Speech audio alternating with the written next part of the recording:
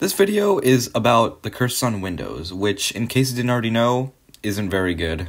Whether it be some textures being from Windows 98 for some reason, or some textures being asymmetrical, I'll be looking at what makes these cursors so bad, and how I could fix them.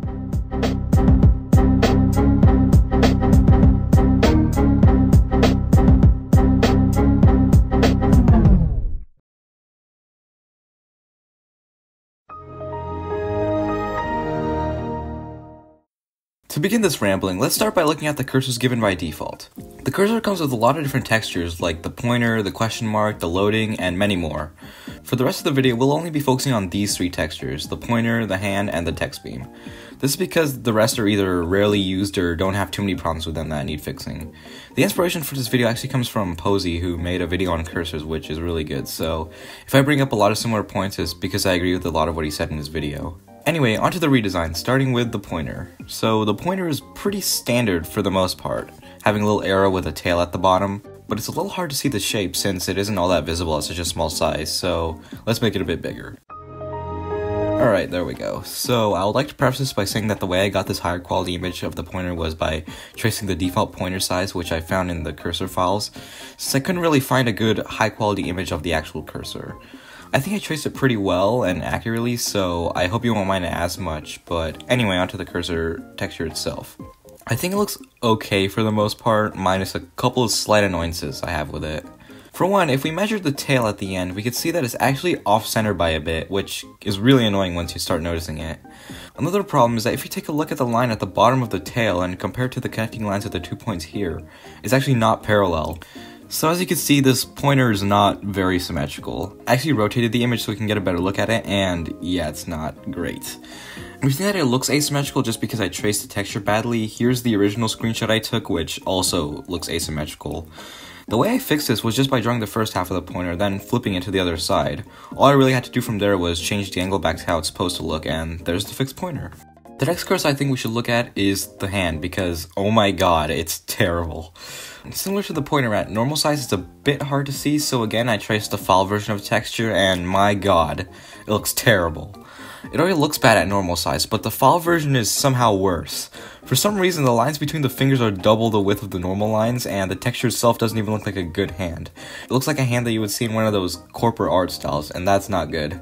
The lines are either perfectly straight or perfectly round, which looks really unnatural, and the hand just looks terrible all around. Now, looking at the older hand texture, while yes, it is a bit rough around the edges since it's older, it looks like an actual hand. The hand doesn't use all these perfect shapes. It's stylish. The size could be a bit smaller, but for the most part, I think it's pretty good. So when redesigning the hand, I decided to base it off of the old hand texture. I changed a couple of things, most notably the bottom part is now more rounder compared to the straight line in the old hand, which I think looks pretty nice. I was originally thinking of making it look like a cartoon glove similar to what Mac did, but I didn't really want to copy Mac too much, so I'll just stick with the design that I currently have. Now on to the text beam, and oh boy, it's really bad. The text beam looks like a clump of pixels that don't mesh well together at all. Another problem with the text beam is that it uses inverted colors which can be really hard to see, especially on a gray background. The way I'd fix this is to round off the little indents here and change it to make it look a little more refined. I would also change the colors from inverted colors to black with white outlines. The reason I picked this over white with black outlines is because white with black doesn't really look good. Now you're probably calling me a hypocrite, saying something about how I'm against copying Mac for using the hand, but now I'm using the Chrome OS text beam for this design. And to that I say, yeah, you're right, I pretty much just copied the Chrome OS texture, but let me justify my decision. For a hand, you can add much more details to it compared to a beam. You can have a stylized hand, or a cartoon glove, or even a hand that's a disgrace to all other hands, but what can you really do with a beam? Plus, the Mac and Chrome beams are practically the same, except that Mac has this little line in the middle, while Chrome doesn't, and yet you don't hear people saying that Mac and Chrome are copying each other. And even after that very logical reason for me keeping the text beam similar to the Chrome OS text beam, you still think that I'm a hypocrite, then you better keep your eyes peeled.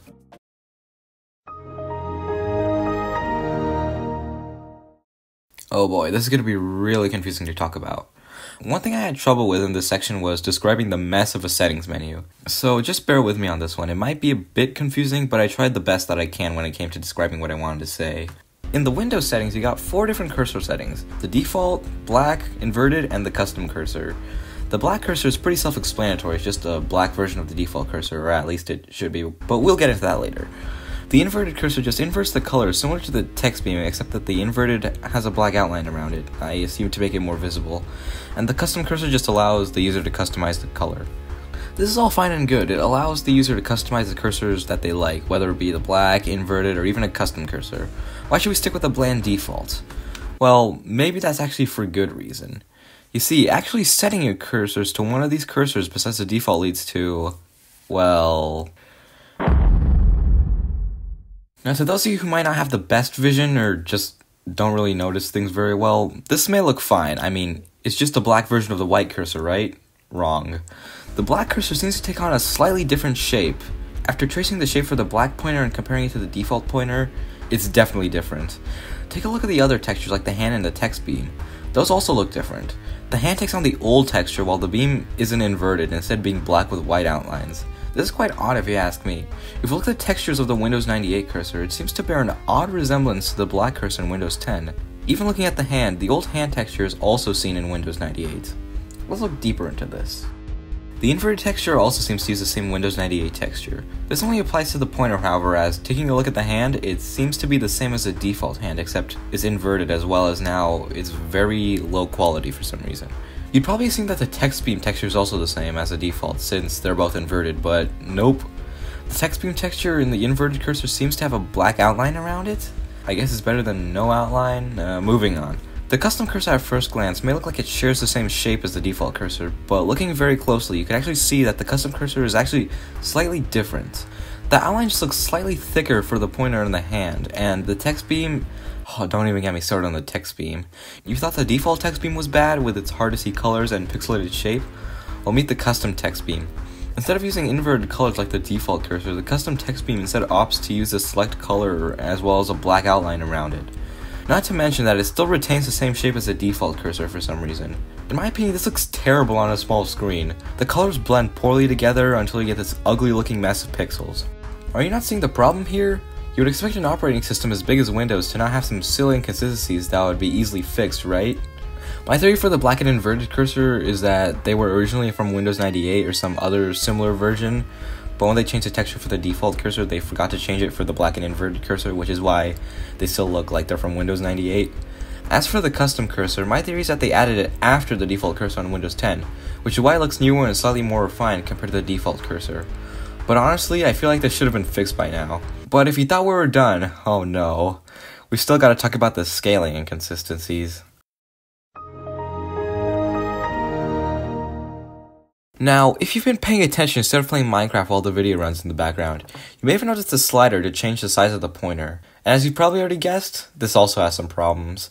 For some reason, when you change the size to anything bigger than the default size, the texture changes from whatever the original cursor shape was to a bigger version of the custom cursor.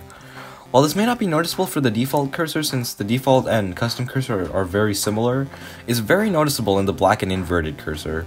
The shape of the cursor magically changes from this Windows 98 style cursors to the more modern shape of the custom cursor.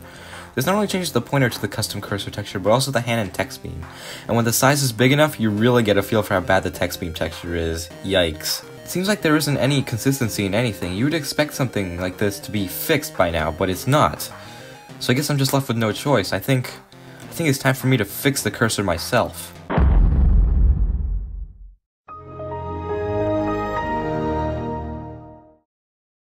I already talked about how I'd fix the default cursors, so we could just use my fixed cursors as the default cursors instead of the bad, ugly looking default cursors.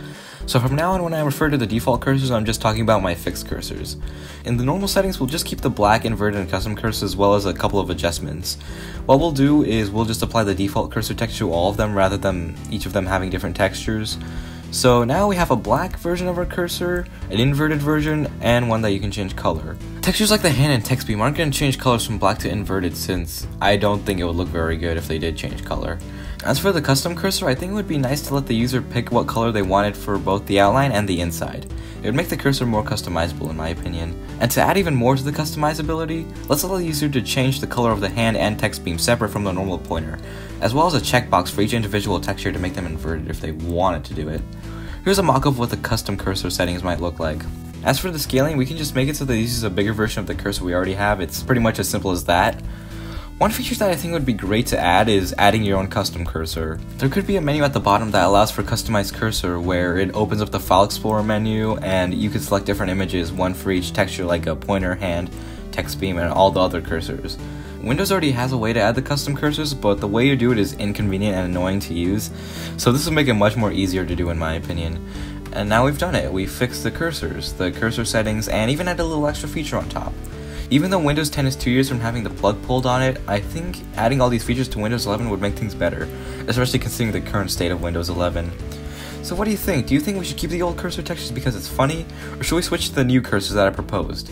Apparently there's this new YouTube feature where depending on what you say, it highlights a different button. I've only seen it happen a few times, so I'm just gonna test it out to see if it works on this video. So, if you enjoyed the video, please subscribe. Please hit the subscribe button as it would be greatly appreciated. Okay, D- did the subscribe button get highlighted? Okay, let's try it with another one. Make sure to hit the like button. Like button. Okay, did that work? I, I, I don't know. I'm gonna find out for myself. And wait, hold on. I'm I'm getting some info on something. Roblox? What does that have to do with this? Um, okay, hold on. Uh, Roblox cursors. Uh, I don't really know what that means. Guess I'll look it up. Wait. I'm confused. It's It's, just an it's just an ordinary crappy Oh my goodness! Nope, I'm done. See you, chumps.